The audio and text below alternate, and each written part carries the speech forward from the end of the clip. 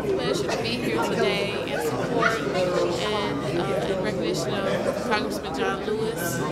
He's been an inspiration and a supporter of us all.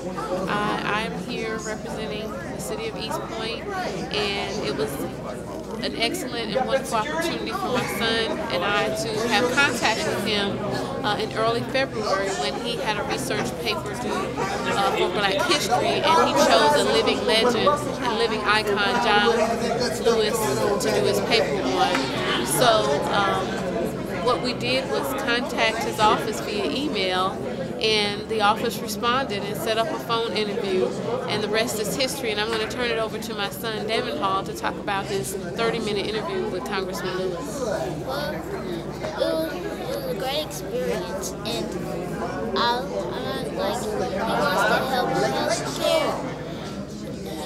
He wants to get, get our children a better education and he wants to get all the people out of Iraq.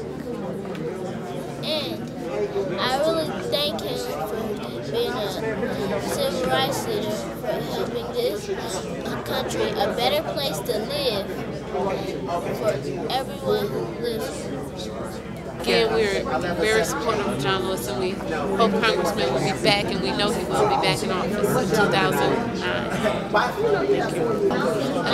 Thank you. Hall. And this is Kim Hall, again representing the city of East Point, Georgia. We thank you.